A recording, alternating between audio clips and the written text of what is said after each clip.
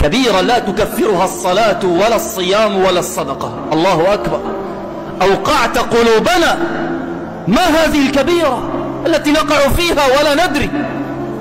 اسمع. هذه الكبيرة تنسف الحسنات نسفة.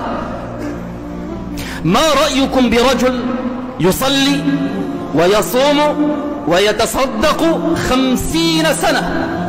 وهو مخلص في ذلك لله. ما عم يفعل أمر رياء مخلص. ثم يأتي يوم القيامة ولا يملك حسنة. بسبب هذه الكبيرة. خمسين سنة. ما هذه الكبيرة؟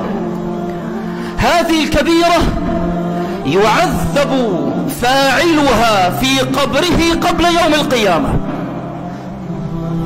قال رسول الله صلى الله عليه وسلم مررت ليلة أسري بي ليلة الإسراء والمعراج. مررت ليلة أسري بي بأقوام لهم أظافر من نحاس يخمشون وجوههم وصدورهم. فقلت يا جبريل من هؤلاء؟